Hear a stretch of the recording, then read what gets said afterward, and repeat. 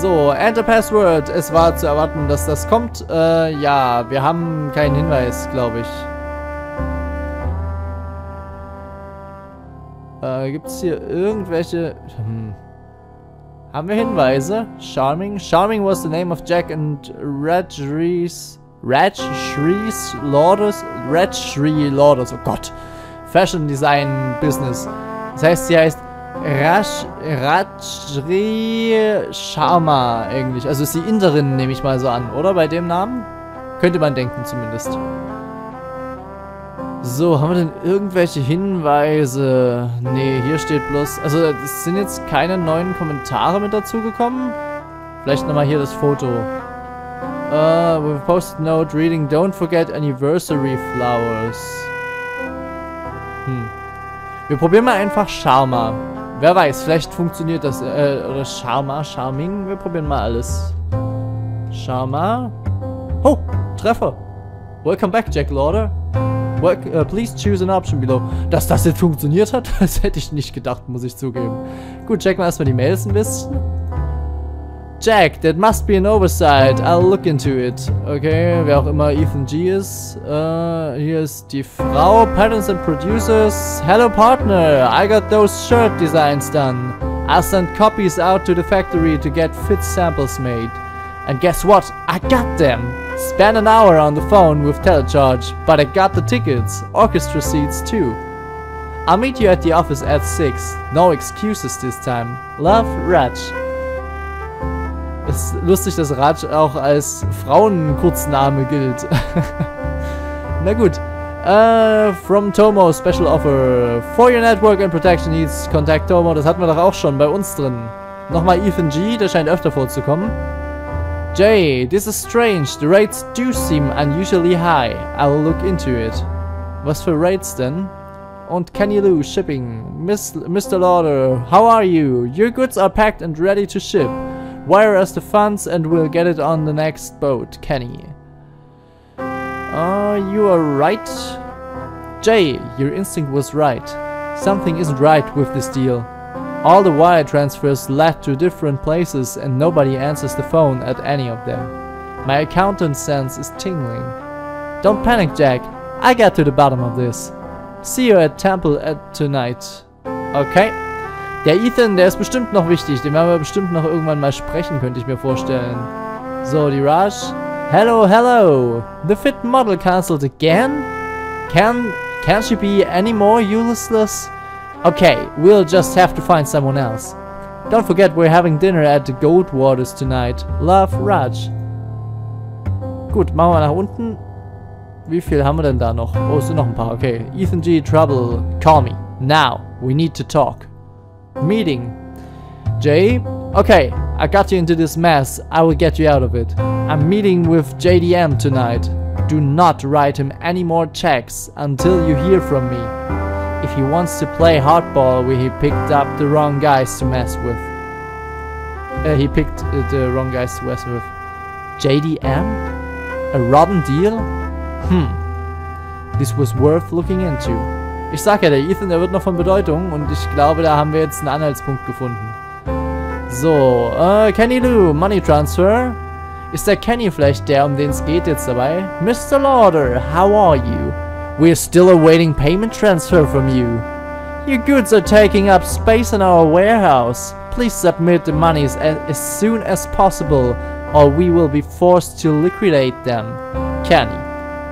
Und vom Roughnet Admin, undeliverable to Jack Lauder from Roughnet Admin. The following message was undeliverable. The reported error was subscriber RST no does not exist on Roughnet. Ach, er wollte uns eine Nachricht schicken und hat nicht Stone geschrieben, sondern hat sich verschrieben.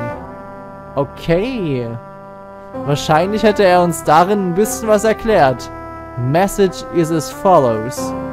Hello Rabbi Stone, it's been a while. I hope I got the correct email address. No doubt you're surprised to hear from me. I'm not sure why I'm writing either. I'm often uh, I often think about what you said. It still angers me, but I can understand your motives. You looked at us and said, nothing is worse than when Jews turn their backs on one another. I can still remember that look in your eyes. Sheer contempt. Like we were the worst sort of scum that ever crawled out of the ocean.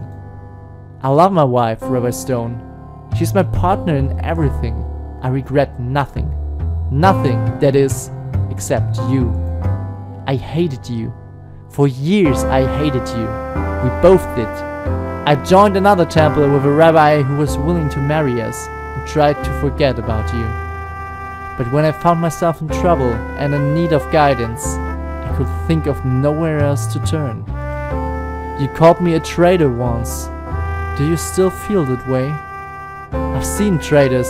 I've seen Jews turn their backs on other Jews. It's not pretty. It's awful. I'm not like them. Time has cooled my hatred. Has it done the same to you? I need to speak to you. I feel like I am 12 years old again, preparing for my bar mitzvah and needing help with my Torah portion. I know I didn't marry a Jewish girl, or go to temple every week, or keep kosher, or do any of the many things we're supposed to do. But I always have known that I was Jewish. Is that enough? I'm not a traitor, Rabbi. I have never forgotten I'm Jewish. Jack Lauder. Okay, also bei ihm scheint das wohl doch ein bisschen äh, stärkere Spuren hinterlassen zu haben und offenbar war es einfach so, dass äh, weil er sich in eine Innerin verliebt hat und sie natürlich keine Jüdin war, sondern wahrscheinlicherweise Hindu, äh, dass er sie nicht heiraten wollte, äh, ver vermählen wollte, der Rabbi Stone. Und vielleicht ist das schon alles, worauf sich dieser ganze Streit begründet hat. Wer weiß, er ist vielleicht einfach ein sehr konservativer Rabbi. Kann ja sein. So, schauen wir nochmal bei Ledger rein. Recent Transactions. Joe DeMarco, $500 personal. There were a lot of personal checks written out to a Joe DeMarco. I wonder who he is. Merken. Goldberg and Weisselbaum, $200 accounting. I recognize the name. It was a clothing store. Oh, ich habe aufs Falsche gedrückt, glaube ich. Evidently, they bought products from Jack and paid for it properly. All cut and dry. There was nothing unusual here. Ja, ich bin auf Macy's gerade gekommen, glaube ich. It looked like Jack hired an accounting firm. Okay, in Moda of Broadway. I recognize the name, it was a clothing store. Selbes Spiel schon wieder, das hatten wir ja gerade eben schon. Out, Joe DeMarco schon wieder. Ja, achso, das bleibt bei derselben Nachricht. Okay. Haben wir noch hier unten Grayson Sportswear, das ist wahrscheinlich auch nichts weiter. Ja. Gut, also haben wir noch den Namen Joe DeMarco, der hier noch eine Bedeutung hat. Und Loose Shipping, das ist doch auch interessant. War das nicht hier von Loose Shipping? This payment went out to a shipping company.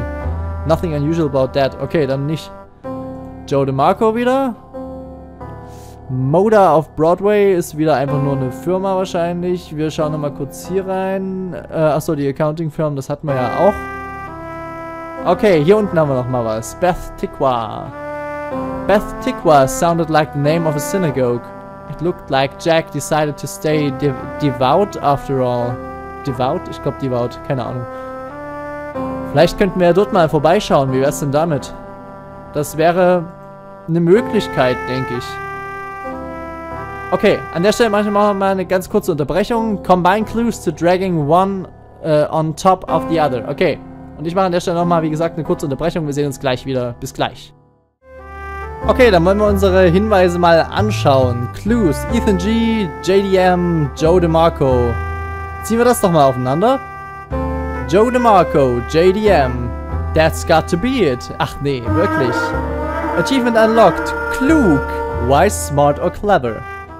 Schön. Haben wir mal wieder ein Wort, das zusammengehört. Joe's meeting with Ethan. Wenn wir mal Ethan G draufpacken. The JDM in Ethan's letter had to be Joe DeMarco. Das wissen wir doch schon. Achso. Was haben wir denn hier? Jack Lauder received an email from Ethan G with described, which described a meeting with a JDM. In Jack's letter, there were several personal checks about uh, made out to uh, Joe DeMarco. It's reasonable to assume that JDM and Joe DeMarco are the same person. Ja, soweit ist klar. Hast du mir jetzt quasi alle Hinweise, die ich habe, nochmal vorgelesen? Ach nee. Mehr über den Ethan G herausfinden. Ja, das Blöde ist, wir haben keinen Nachnamen, ne? Jack Lawless ledger showed several blablabla. Das wissen wir ja. Okay. Können wir über die Frau vielleicht was rausfinden? Ich weiß es nicht. Auf jeden Fall gibt es hier jetzt erstmal eigentlich nichts mehr, was wir mach machen können. Ich glaube, das haben wir soweit abgearbeitet. Nochmal mit ihr sprechen. Weiß nicht, ob das was bringt. Wir können es mal probieren. Schauen wir einfach nochmal rein.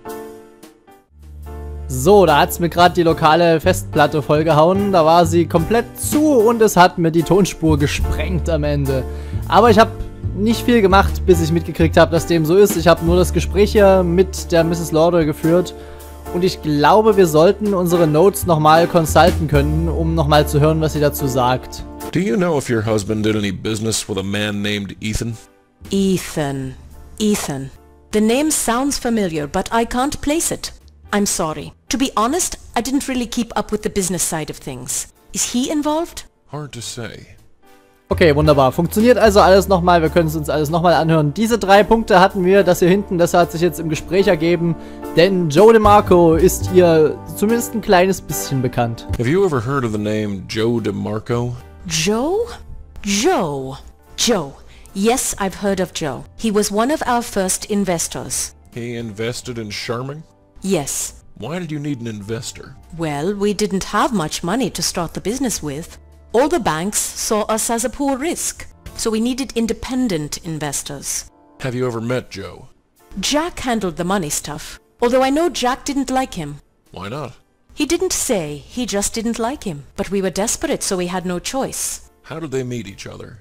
I think they were introduced. At the temple of all places. At Temple? So Joe DeMarco is Jewish? Maybe. Why? DeMarco is not a very Jewish name. And that's important to you, is it? Not to me, no. But it's certainly significant. Ja, ist ja eher unüblich. Also meistens ist es ja so, dass äh, Personen, die ihre jüdische Tradition behalten wollen oder ihre Herkunft äh, hochheben, dass sie dann auch die jüdischen Namen behalten. Ist natürlich nicht immer so. Manchmal werden sie auch weggegeben, die Namen. Aber DeMarco klingt ja eher so italienisch. Und ja, das ist ja doch ein anderer Kulturkreis. Das ist ja eher ein katholisch geprägter Kulturkreis. Allerdings, was ich mir so dabei gedacht habe, als ich das hier gelesen und gehört habe, äh, vielleicht äh, hängt er irgendwie mit der ist natürlich auch jetzt wieder schön stereotypisch, dass man bei einem Ithaka so, äh, Verzeihung, Ithaka, bei einem Italiener, Entschuldigung, äh, sofort an Mafia denkt. Aber ähm, da sie sich ja Geld geliehen haben, offenbar von ihm, beziehungsweise er ein Investor war, äh, das äh, hat vielleicht auch was mit, ja, mit äh, kriminellen Machenschaften zu tun. Also vielleicht hat er ihn deshalb nicht leiden können, aber ist trotzdem ihm hingegangen immer wieder. Denn vielleicht wurde er dann einfach erpresst, weil er das Geld nicht zurückgezahlt hat, das sie sich mal geliehen haben oder sowas. Könnte ich mir vorstellen. Und das wäre ein guter Mordgrund. Do you know anything about Ethan G meeting up with Joe DeMarco?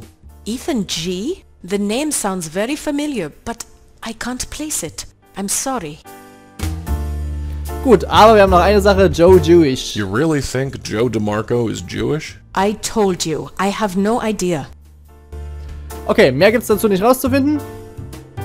Und dann können wir uns auch wieder zurück in unseren Tempel I'm going to begeben. leave now. I'll see what else I can discover. Thanks, I guess. So, in unserer Synagoge haben wir ja den Computer, den wir möglicherweise befragen können. Wir haben mehrere Anhaltspunkte. Einerseits äh, wollen wir natürlich wissen, äh, der Tempel, theoretischerweise müsste er den Namen des Tempels ja kennen, der stand irgendwo. Und andererseits haben wir Joe DeMarco, über den wir mal ein bisschen was in Erfahrung bringen können. Und ich würde sagen, genau damit fangen wir an. So, schauen wir mal. Joe DeMarco. Ich glaube, das wurde zusammen, ah, zusammengeschrieben, ne? Schauen wir mal. Joe DeMarco resulted in over 10.000 results. Please narrow your search. Na toll. Das ist ja super. Wieso gibt es von dem denn so viel? So, dann müssen wir nochmal kurz rausgehen. Ich check nochmal kurz meine Hinweise. So, richtig geschrieben habe ich ihn auf jeden Fall schon mal. Ethan G. wird wahrscheinlich zu unspezifisch sein, nehme ich an. Jack Lauder's ledger showed several personal checks written out on a Joe DeMarco. Jack Lauder received an email from Ethan G. with described in my meeting in JDM. In Jack's letter, blah blah blah. It's reasonable to assume that JDM and Joe DeMarco are the same person. Das ist klar. According to Registry, Jack met the mysterious Joe DeMarco at Temple. Does that mean Joe is Jewish? DeMarco doesn't sound like a Jewish name, but anything is possible. Das Problem ist, was soll ich denn eingeben in den Computer, außer Joe DeMarco? Mehr weiß ich doch nicht. Jack Lord received a few urgent emails from an Ethan G. I need to find out more about this person.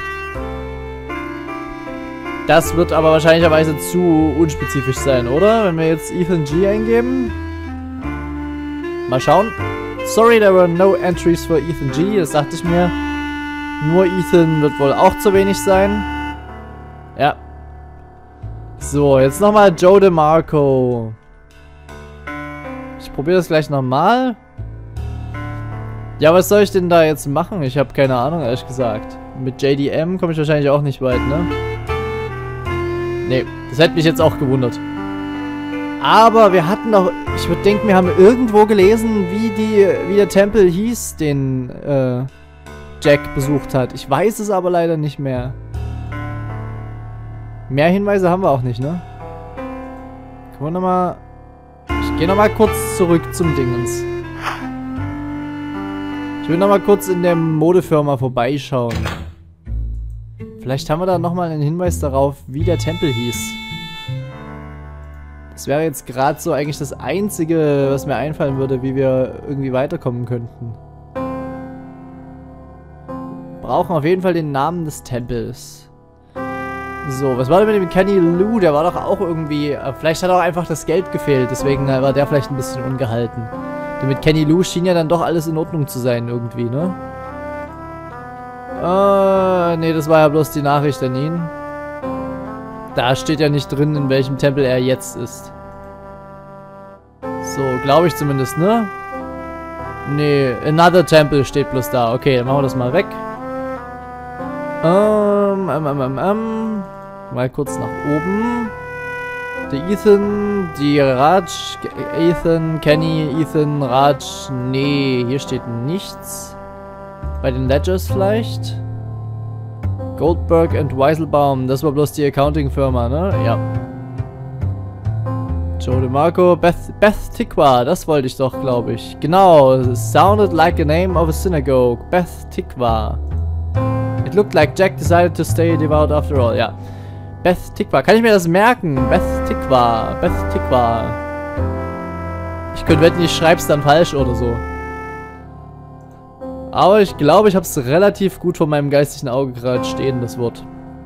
Oder den Namen. So, probieren wir es doch mal.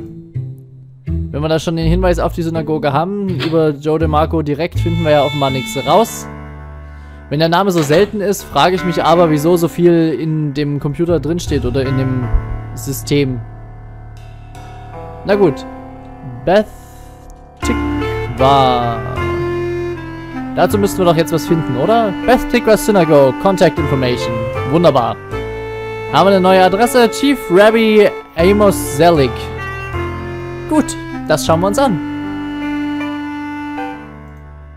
Gute investigative Arbeit, Rabbi Stone. Rabbi, was auch immer. Nein, war ja nicht allzu schwer jetzt. Zugegebenermaßen.